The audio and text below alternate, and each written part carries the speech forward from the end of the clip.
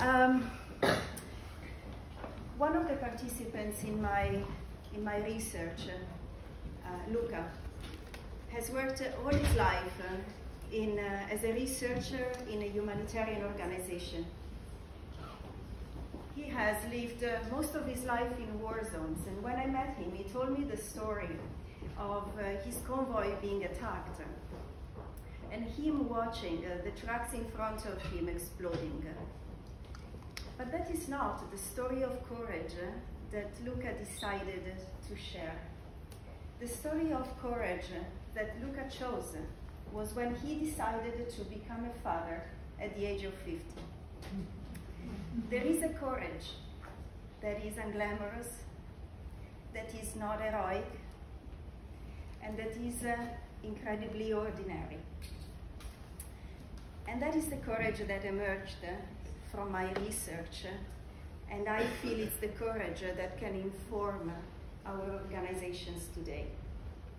My name is Alessandra Marazzi, and my research is a grounded theory that brings together the construct of courage and the construct of somatic awareness. So the awareness of body sensations and the body in space. And I asked myself a lot of questions uh, because these two constructs uh, had a had a deeper. Can you close the door? Thanks. Were very important for me and always fascinated me. They also had a very deep impact uh, in my life. My research is about living a full life, not necessarily a good one uh, or one that feels good, because courage does not feel good. At least the courage that we feel inside ourselves. And in my research, uh, what I was interested in was to give courage a voice that was not just the voice of our head and our stories, but the voice of our bodies.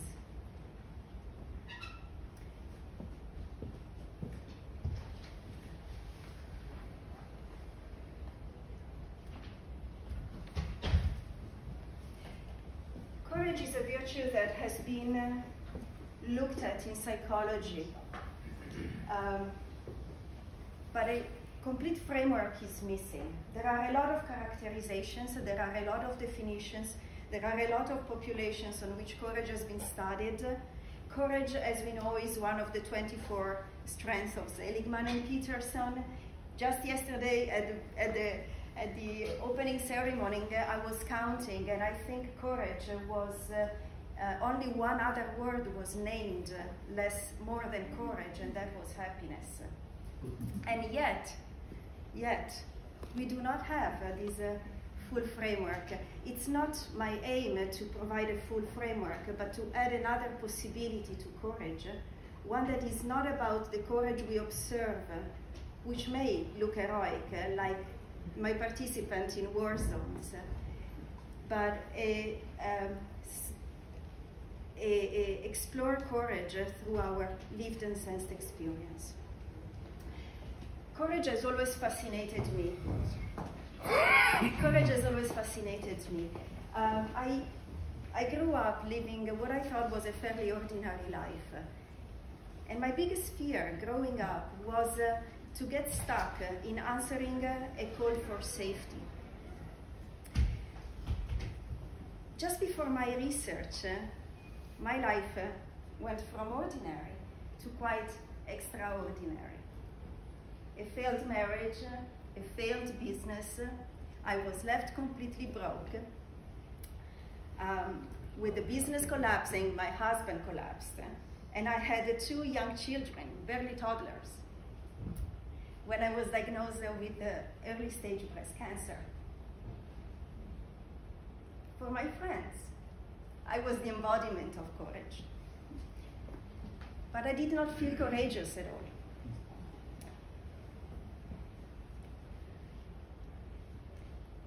I was lying in bed, paralyzed by fear. How can this be courage? Now, when I looked at my research, when I looked at what was emerging from my research, from the experience of these 10 participants uh, that went through uh, a day of uh, somatic awareness practices and embodiment of courage, and a day of sharing and reflecting on courage together. What came out had a very high resonance with my own experience of courage. And that's why I say it doesn't really feel good. it didn't feel good for my participants and it didn't feel good for me. And yet it's one of the most transformative experiences. Sorry, I keep, okay. It's one of the most transformative experiences in our life. Courage is a movement. It's a wave with many waves inside. And those waves move us from um, a smaller version of ourselves to a much bigger version. One that is not bounded, but one that is not, that is in connection and in relationship to something bigger. So courage is, uh, is highly transformative and it starts with responding to a call, a call for growth. Now, many characterizations of courage um, seem to point towards the spark of courage being a threat. In my research, what came out is that courage is sparked by an opportunity, the opportunity of being a bigger, a bigger self. And when we answer that call, when we close, when we, when we answer that call, we are thrown into a tumble dryer of emotions. And we go from moving towards to moving through, moving through fear, moving through emotions. The call for safety on one side, the call for growth on the others, and us in the middle, torn. And what moves us through are these micro choices, like in my case, waking up every morning, and one step at a time, putting my life back together. Mm. These are the micro choices that we can make, and we make every day in our organizations. And the micro choices where I would like uh, to point uh, a bit of intention to, because they can move us to safety, and we see what happens uh, in the world when we react uh, to fear. Or they can move us towards something bigger. There is a moment when these forces pause and recede, that we surrender.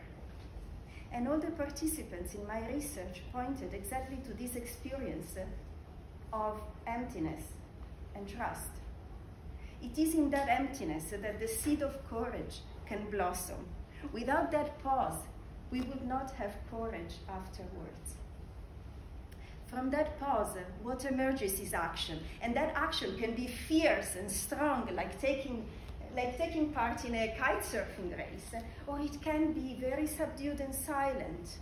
One is the yang of courage, one is the yin of courage. And funnily enough, in Chinese medicine, the gallbladder is the organ that represents, it's this side, that represents courage, and it's the only organ that is both yin and yang, exactly as uh, in the experience of my participants.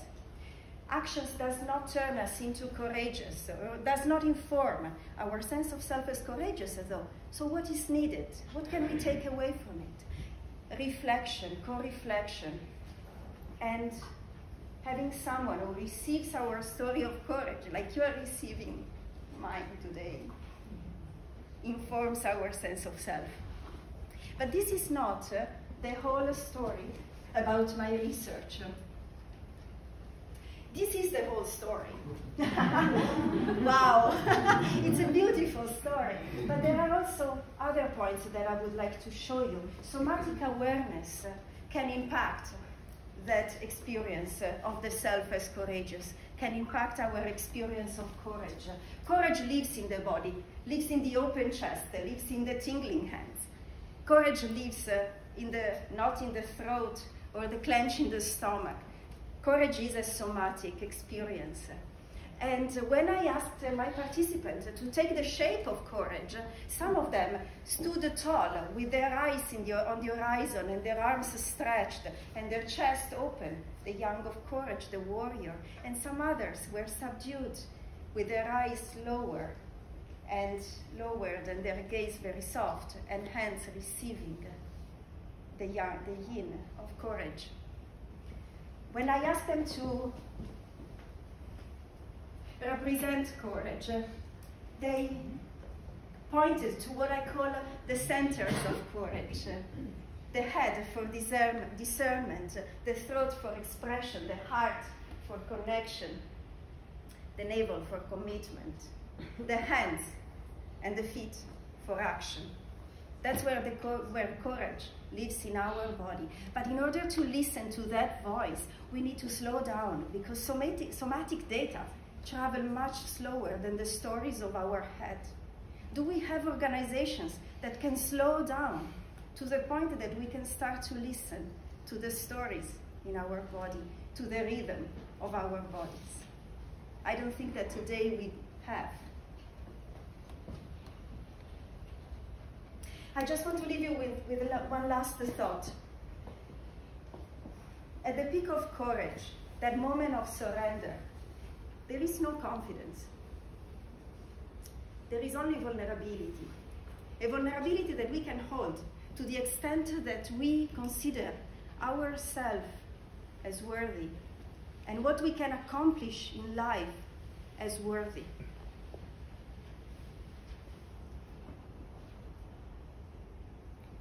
When we come so close and courage takes us there, our body takes us there, to something so essential to who we are. What we find in my research, what we find is not an isolated self, but a self who lives in relationships, in a relationship to others, and in a relationship to the world. I thank you for your uh, for hearing me, and I will take your questions later.